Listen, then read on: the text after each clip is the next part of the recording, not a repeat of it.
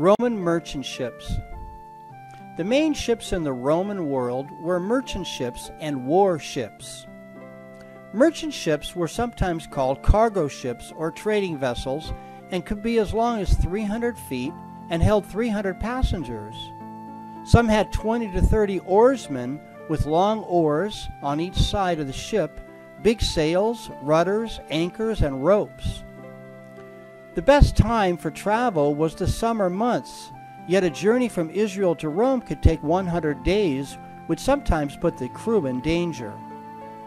The Bible mentions that Paul traveled by ship 13 times on his missionary journeys, and it also mention, mentions his shipwreck on his way to Rome and the 276 passengers on board.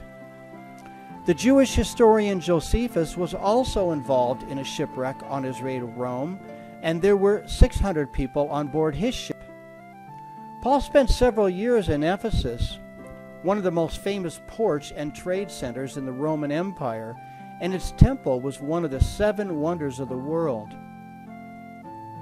In the book of Ephesians, Paul said that the believers in Jesus were sealed with the Holy Spirit. Paul was using the imagery of a merchant marking his packages with a seal of ownership. When the ship arrived, the merchant could claim what was his. The seal was also used as a guarantee of payment. Paul also said in Ephesians that believers in Jesus had formerly walked according to the course of this world. The course was like a flag on a ship that marked the direction the wind was blowing.